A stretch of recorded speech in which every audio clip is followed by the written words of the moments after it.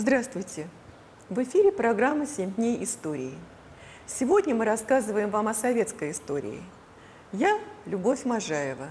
Тема сегодняшнего выпуска – курс на освоение целинных и залежных земель.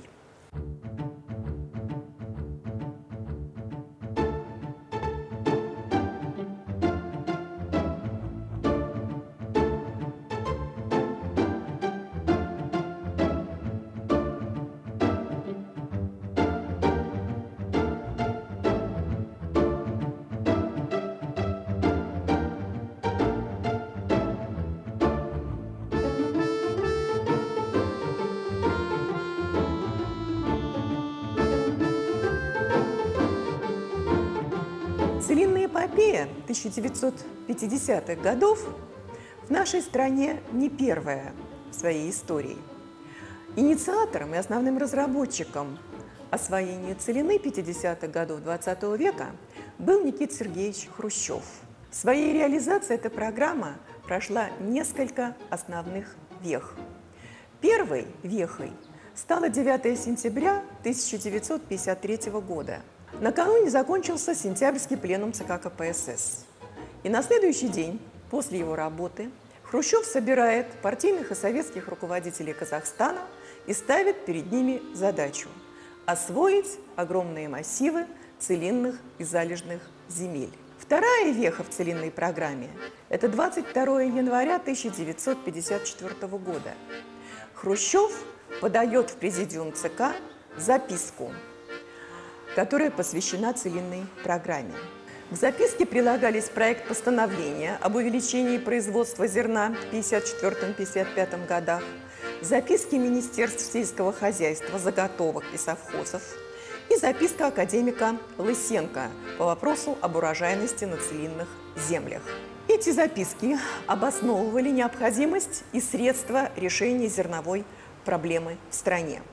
Хрущев подчеркивал – что раньше урожайность э, зерна в стране оценивалась не по фактической урожайности, а по урожайности на корню, которая не учитывала потери при сборе урожая. Основным э, фактором, который определял необходимость распашки целинных и залежных земель, Хрущев определял рост населения страны и рост реальной заработной платы, что требовало увеличения хлебопродуктов для снабжения населения страны. В 1953 году ситуация с обеспечением населения хлебопродуктами стала настолько критической, что пришлось даже разбронировать 160 миллионов пудов зерна из государственного резерва.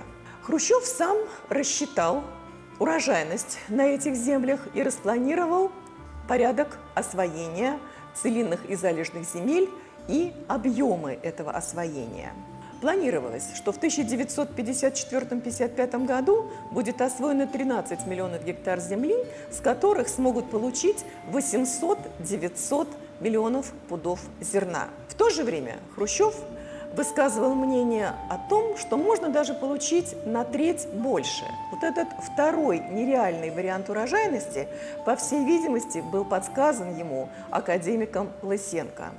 Лысенко же, кстати, настаивал на глубокой распашке земли и на полном переворачивании земельного пласта.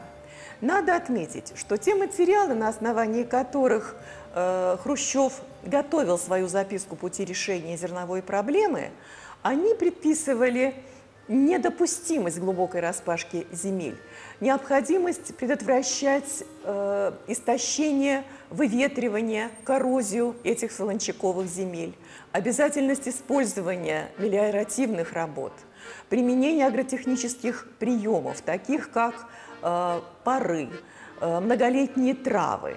Но эти рекомендации Никита Сергеевич Хрущев в своих материалах не учел. В дальнейшем, в 1956 году, планировалось распахать еще 15 миллионов гектар земли, а затем еще 40 миллионов гектар. Таким образом, метод штурма был заложен уже в самом плане, в самой программе освоения целины. Следующей вехой было 25 января 1953 года. Состоялся президиум ЦК, на котором было принято решение об освоении целинных и залежных земель.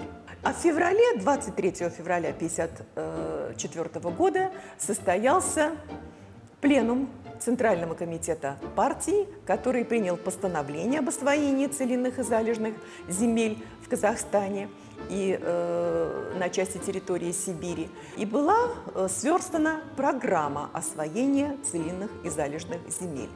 Но уже накануне пленума э, Никита Сергеевич Хрущев выступил на митинге московских комсомольцев и московской молодежи, которые отправлялись добровольцами на Целину.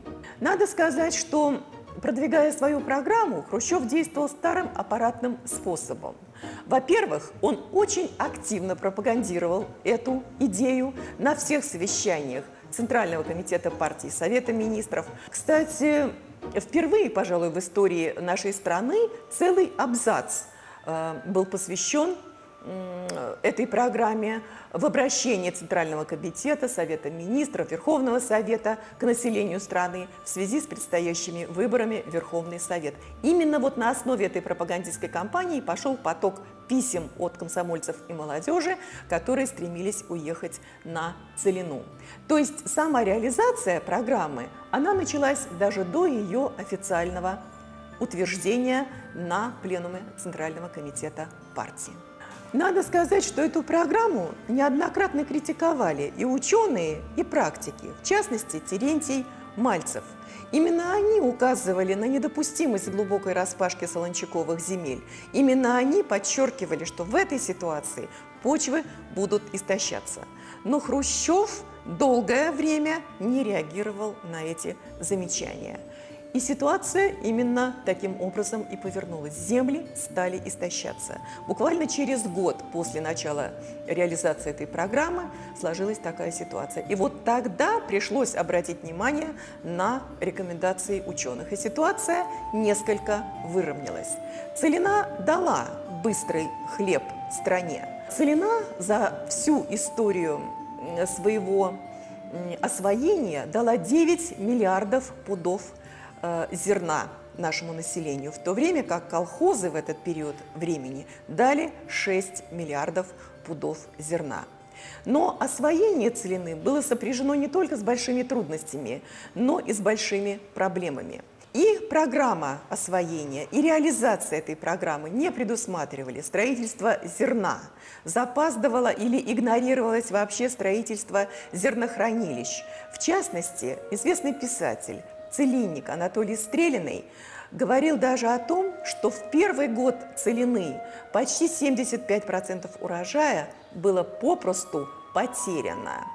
Целина при всей своей результативности все-таки легла достаточно тяжелым бременем на нашу экономику. Она отвлекла на себя более 20% всех финансовых вложений в сельское хозяйство, которое было предпринято в те годы в нашей стране. И кроме того, сама разработка этой программы и реализация ее явилась отступлением от э, основных определенных пленумом э, ЦК КПСС в сентябре 1953 года средств э, развития сельского хозяйства от главного пути интенсификации. Именно февральский пленум 1954 года закрепил путь на экстенсивные методы развития сельского хозяйства, то есть на вовлечение в севооборот новых и новых земель.